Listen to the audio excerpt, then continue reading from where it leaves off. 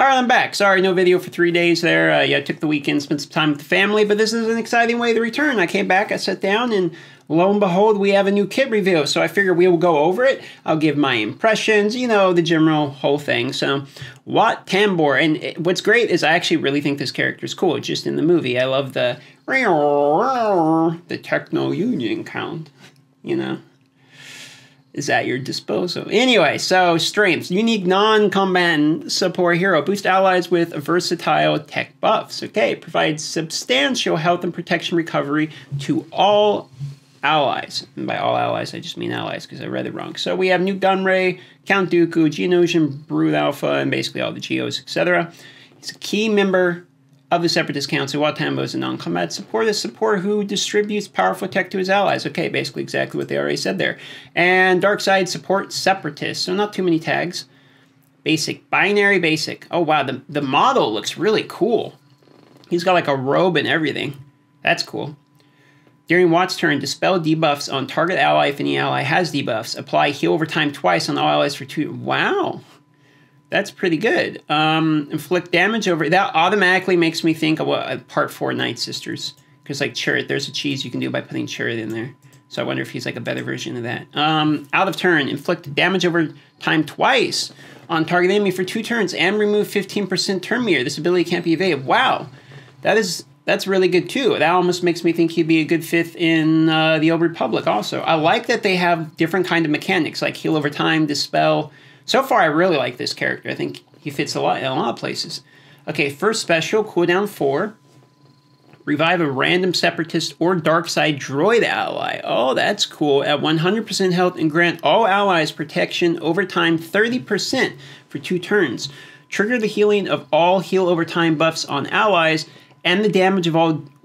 No way. The damage of all damage over time debuffs on allies. That is. That's awesome. Think about uh, Vader lead, and that that is a cool animation too. So far, this character has the potential to be one of my favorite characters in the whole game. Like just reading the kit. This is my first time reading the kit.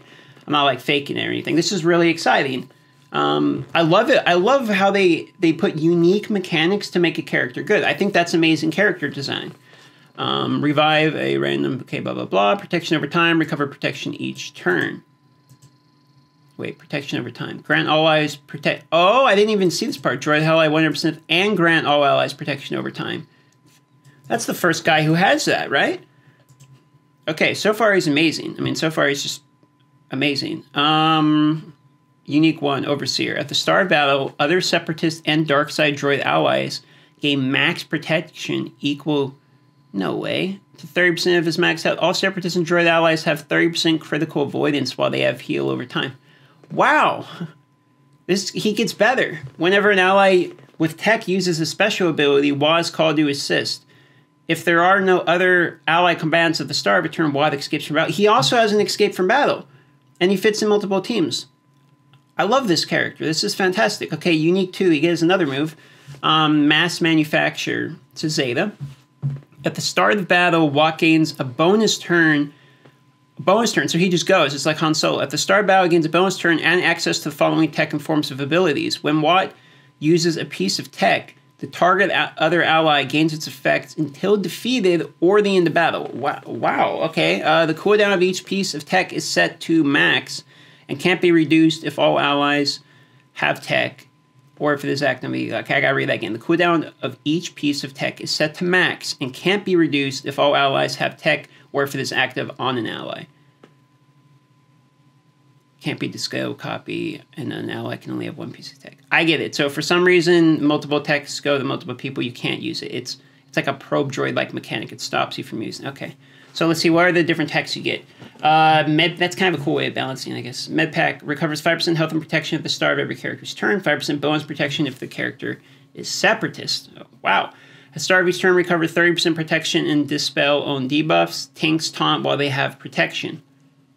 Wait. At the start of turn, recover 30% protection and dispel own debuffs. Tanks taunt while they have protection. Dang. Okay.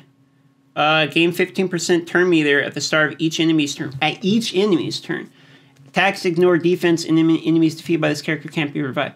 Holy moly, man. This guy's loaded. Now he's just disgusting, right? I mean, I got to go over this again. So he counts as a separatist. His basic is is is amazing. During, during his turn, dispel debuffs on target ally if any ally has debuffs. Apply heal over time twice on all allies. And then you can trigger the heal over time effects too. Of turn. Oh, so that's the icy. Okay, so if he gets retribution or call to assist from other people, uh, he puts the dot on them. Okay, all right, I get it.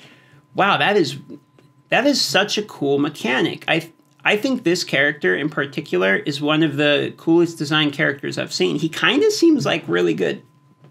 Uh, I wonder if he'll be good enough to kind of push the separatists over the edge. I'm not.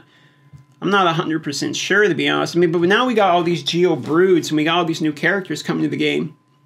And we have like Nute Gunray lead and stuff. I think Separatists might actually start being a really good faction. This is very exciting. Either way, very exciting. Um, I'm gonna keep this video short to the point. I, I think he's I think he's gross. I think he's really really good. I, I'm excited to get this character. I, I think it's one of the few characters to come out in recent memory where I'm like I'm actually extremely hyped. I, I can't wait to get him. I think he looks fantastic. I think that plug and play characters like this are the meat and bones of the game and make me want to collect the characters. So honestly, good job, CG. I think he looks he looks fun. Yeah. Okay, guys. Cheers. Have a good one.